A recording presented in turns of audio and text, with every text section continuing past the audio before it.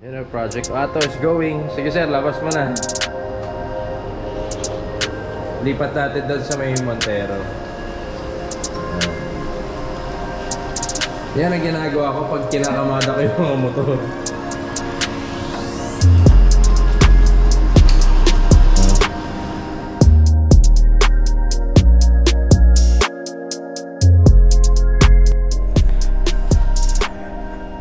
Yun know.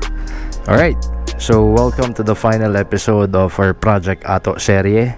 And this is it, the moment of truth, the final look of this bike because I'm gonna be turning this over to the client na, si Sir Allison. Okay? So, ilalabas ko lang sa showroom dahil magsha-shuffle ako ng bikes, ilalabas ko rin si Ducati. And bigyan ko kayo ng ride impression. Hindi ko na ilalabas ng building dahil ang linis na niya. Ang hirap pa dumihan sa labas. So dito ko na lang ikot-ikot. Then bigyan ko kayo ng walk around and summarize natin ginawa natin sa bike. Okay? So let's go. Labas natin to. Ganito kahasal magkamada ng motor dito. Yan na. Open. And then, let's go. Kita nyo naman, no? Shining shimmery paint. Okay? So again, this is not a decal. It's paint. Wala lang. Yabang ko lang. Yan. Let's go.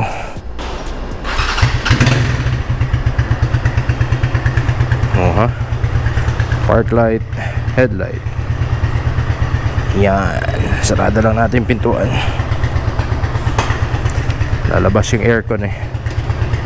So, hindi ko na siya ita-drive sa labas dahil basa sa labas and uh, sayang yung linis.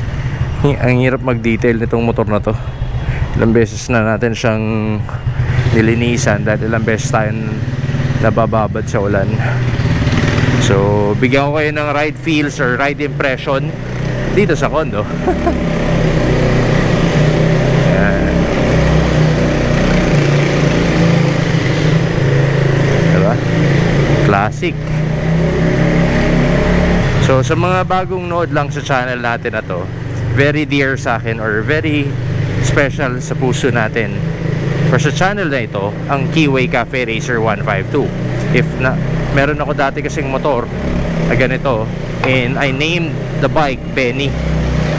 So doon ko rin na-explore and doon din nagsimula ang channel natin. And uh, it's a scrambler or ano ba, scrambler or tracker team bike And uh, so far, ang dami namin naging, oy, Z900 oh. And ang dami namin naging adventures together. Pampanga, Tagaytay, so many times nang nagtagaytay.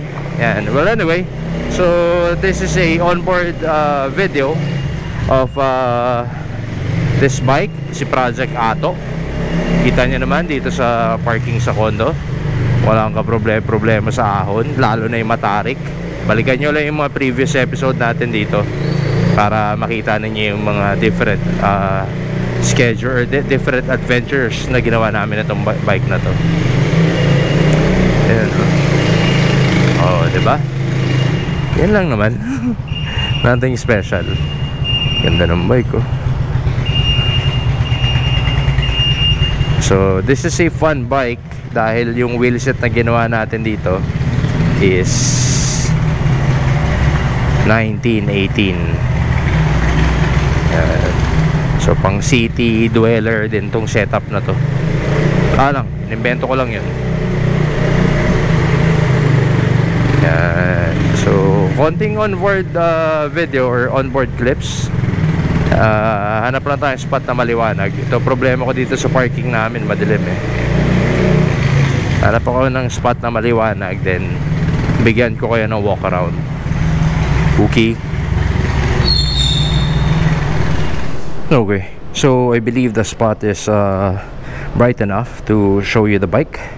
So ladies and gentlemen, guys, this is Ato. Okay. Again, this is a Kiwi Cafe Racer 152 and this is how or this is what the bike looks like.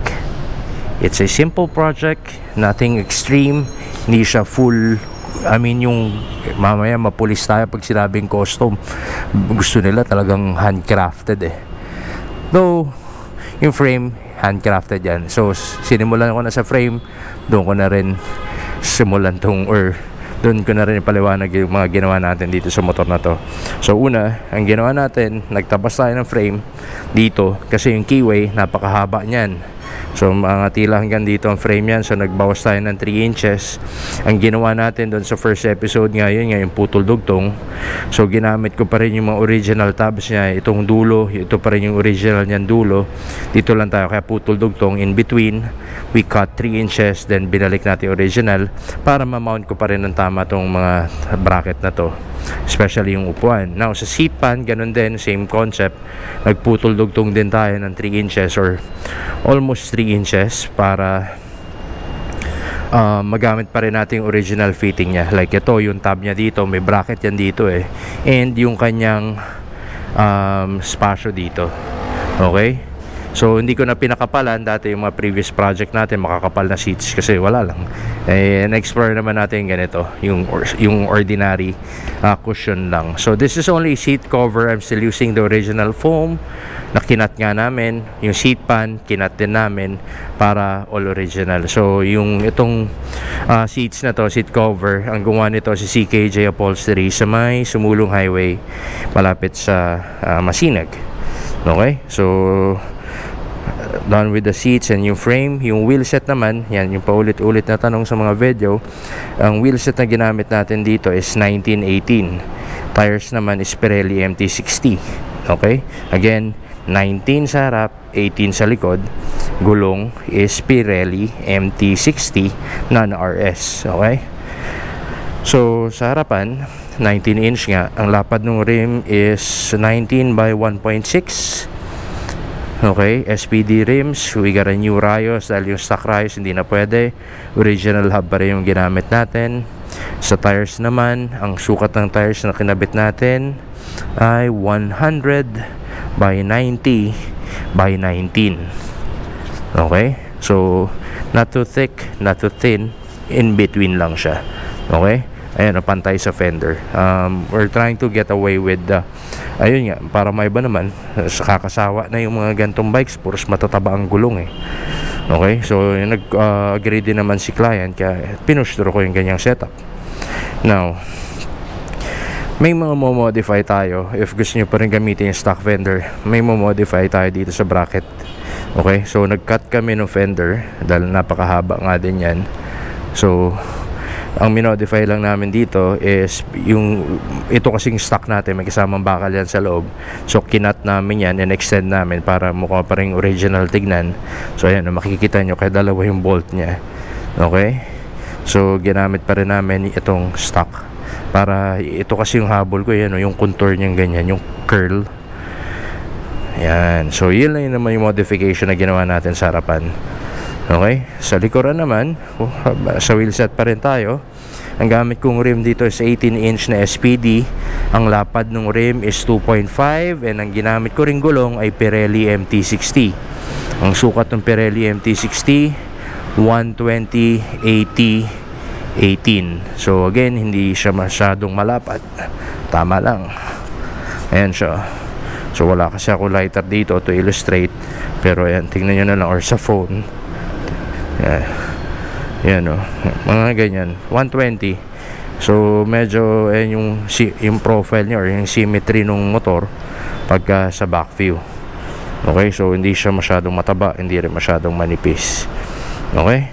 Now, sa rear fender, ito pa rin yung original na rear fender. Maraming nagtatanong bakit hindi nakalawlaw. Okay, may technique tayong ginagawa dyan na okay, kailanganin nyo ng tulong ng ibang tao or mas maganda yung mabigat na tao. Paupuin nyo sa motor nyo kumuha kayo ng tubo kumuha kayo ng kahoy. Tapos pwesto nyo ganyan. Pwesto nyo ganyan habang may nakupo batakin nyo hilahin nyo ng konti. Yung depende sa gusto nyo batak. So ay itsura nya pag nakatagilid oh yan, hindi masyadong lawlaw, hindi rin masyadong tingala kasi baka hindi na makita yung um, taillight ninyo. Okay? Now, let's go to the paint job. The paint job, is made or ang gumawa nito ay si Busted Knuckle Auto Spa sa may Marikina din. So, Chromax paint ang ginamit natin dyan. Ayan o. Oh. Kung mapapansin nyo, dati sticker ang ginagawa natin na stripes na pa ganyan. So, wala lang. Nag-try tayo ng something new. Yan. Pina, this is also a collaboration design by our client, si Sir Allison. Kaya ito, pinaganyan namin. So, this one is um, ash gray. Uh, medyo may pagka-metallic. Yan. This one is uh, yellow gold and this one is jet black. Everything jet black. Okay? So, kabubuga lang nito. So, meron pa tong, doon na buff na, meron pa tong one month curing time. So, ibabalik ni Sir Allison sa akin to after a month para ibabuff natin.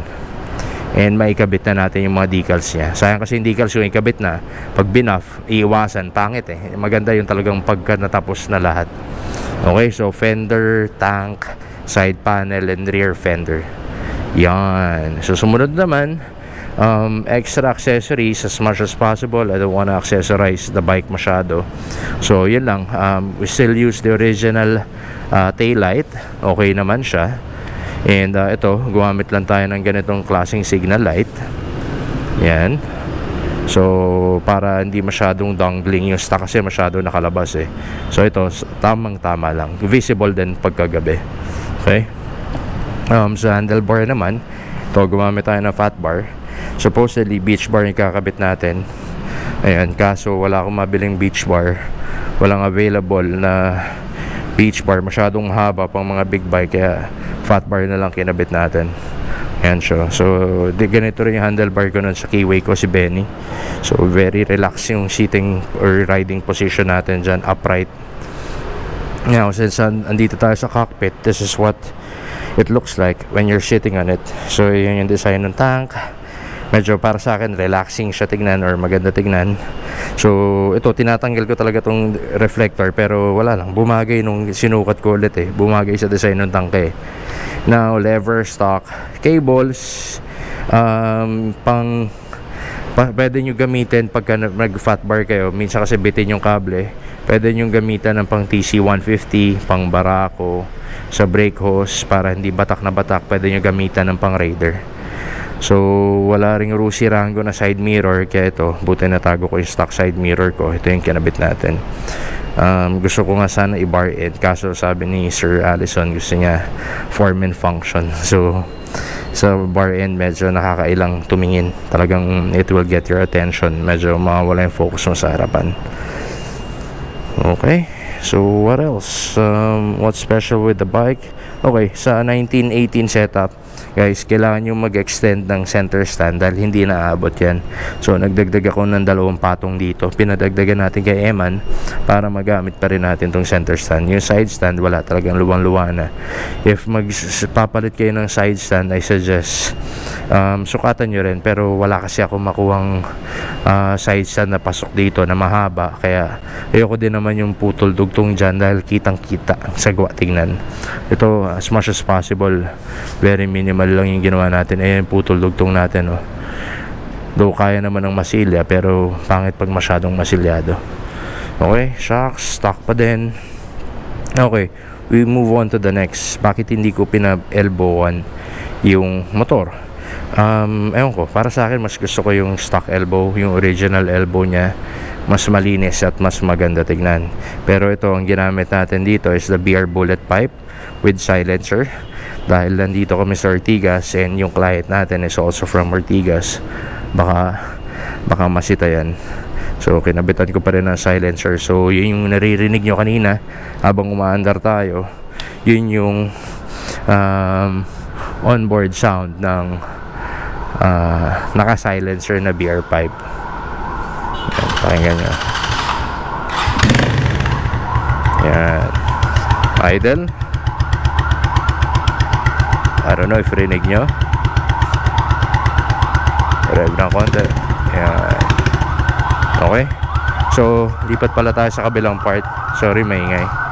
Kalimutan ko sabihin. So we also got the sprocket set from Mr. Henry Yang or piyesa ni Henry Yang nakang sprocket set ito ngayon naka 1648 Bakit ko ginawa yon Para hindi masyadong atungal yung makina pagka long ride. Minsan hindi natin maiwasan na higher RPM tayo.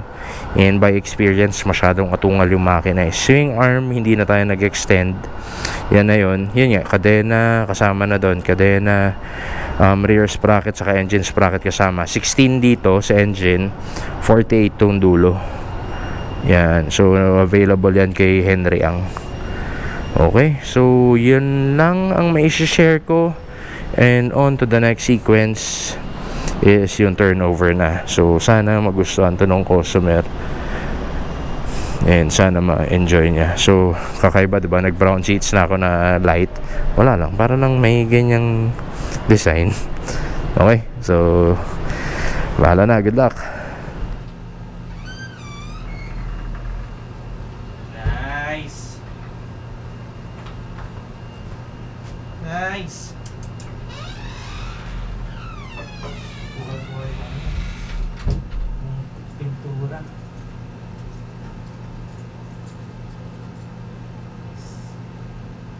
Hindi pa yan yung kit top niya. Ah, may babak pa no? Dadapa pa yan. Hmm. Yawa. Ganda. Saktaan niyo. So, yung theme na parang ginawa natin sa kanya is more on a minimalist na ano. Hmm. Kung paano ko rin sinimulan yung ibang mga bikes ng mga kliyente. Kasi pagka in-overdo mo siya, parang mag, ang dating ah, para sa akin, ang dating niya is parang binuhos mo lahat sa kanya. Pero pag tinignan mo siya in detail, yung seats mo mo ang mamahalin. Paint job mo, definitely mamahalin yan. Tires mo, dami nga nagugulat. Oh, kiway, naka-Pirelli. Ba't mo yung ganito? Ayan. oh. I mean, parang stock pa rin, parang original, pero ang putol niya nito. Yan, Okay. 3 inches. Nung sinend mo nga sa akin sir yung picture. Hindi ko, yung sabi ko, ano to, naputulan na o puputulan pa. Hindi ko 3 ma- inches. Yung, hindi, pulido. Tapos, tignan mo yung guhit ng fender, umakmak pa rin sa gulong. Hindi siya out of place. Eh, dito mo tignan. Dito ka. Tignan mo yung side niya, ganyan. Ayan. Same art. Mm. Hindi na siya yung nakagano. Alam ko, artist kayo. Naku, baka magsukat-sukat to. OC pa naman ako sa mga ganun na... Yung, yung hindi siya, basta hindi siya mukhang naliligaw. Yung pinilit. Ano ano sir ito? Anong, ha- anong hangin? 30. 30 parehas? 30 harap likod. So, kamusta naman ang pagpapadyak, sir? Wala akong pera pa kasi dito.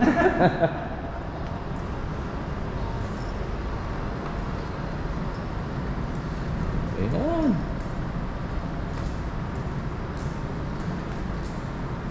Na-feel mo bang iba yung stance niya ngayon? Ibang iba. Doon sa, I mean, di ba nagpalit tayo wheelset nga? Hmm. Tsaka yun nga, yung tulad sa kanina, hindi mo ma-appreciate yung laki ng gulong sa video. Mas malaki siya in person. O kaya pa nagkakamala nila, hima yung setup niya, no? Hindi. O nga, Eh, kaysa kung, sa kung hima yan, nagtaas ako ng petan. Hindi. Yan, no? Mas ma-appreciate mo siya in person, laki, size ng gulong niya. Pero hindi siya, ano, parang proportion pa rin sa bike yung ano niya. Mm. Yung laki kasi hindi naman siya, hindi, hindi tayo nagtaba ng gulong. Nakita na lang tayo. Yung a week before that. Alright, Project Ato is going. This is the final touch that we're gonna be seeing Project Ato. Ito na. Client reveal. Oh, Sir Allison, Hello. ano masasabi mo sa bike mo? Saya, saya. First bike in a long time, so sulit, sulit. Yan, sakto birthday mo sa Tuesday, di ba? Yes. And umabot tong bike mo. So, ito yung sana nasubaybayan nyo guys yung sequence or yung mga serye na ginawa natin with Project Ato. And uh, hopefully, nainggit lang ako sa wheelset niya talaga. Alright. Sir, ingat ah. Thank you, sir. Ingatan mo si Ato. Alright, so there you go. You've seen Project Ato. Nasubaybayan nyo yung sequence natin with the bike. Yung mga ginawa natin. And uh, yun nga, up to this point, yung turnover natin. And um, advance happy birthday kay Sir Al Allison. And sana na-enjoy mo yung bike mo. Mukha naman na-enjoy niya eh. Sana. Okay, so wala, bakante muna tayo. And oras na para yung bike naman natin na sikasuin natin. Ito. So si, uh, this is uh, Zainab or, or Kawasaki Z900 RS. One of our personal bike. Uh, meron din tayong mga gagawin dito. Abangan nyo rin yung serye nitong bike na ito. More on, wala tayong putol ng frame na gagawin dahil we're gonna keep it original na pakita natin. We're gonna keep it original. More on powder coating lang tayo. Ba-black ko lang yung mga dapat ka kung i-black. Like ito, pwede ko rin i-body color to pero tatansyahin ko pa. Alright? So, by the way, this bike is for sale. Royal Enfield Interceptor 650. Check nyo lang sa Moto Junction. Okay, so for the meantime, Um, yun yung kapalaran ni Project Kato, yung Kiwi Cafe Racer 152. The theme for that bike was supposedly intended para doon sa bubuhin ko pang sariling Kiwi. Pero since hindi ko na muna itutuloy yon doon ko na lang binwash yung ating ginawa. It's a simple project. Wala masyado accessories. Uh, minimalist and simple uh, setup lang para mo malinis. And um, ko, for me, it's it looks elegant. Alright? So, bueno mga kapotpot, I guess I'll be ending the vlog from here. And maraming salamat sa mga sumubaybay sa serye ni Ato. And once again, this is your boy, Mr. Kalakal. Now signing off. Ciao. Wee. So good night everyone. Ride safe. And God bless palagi. Peace. Babush. Good night.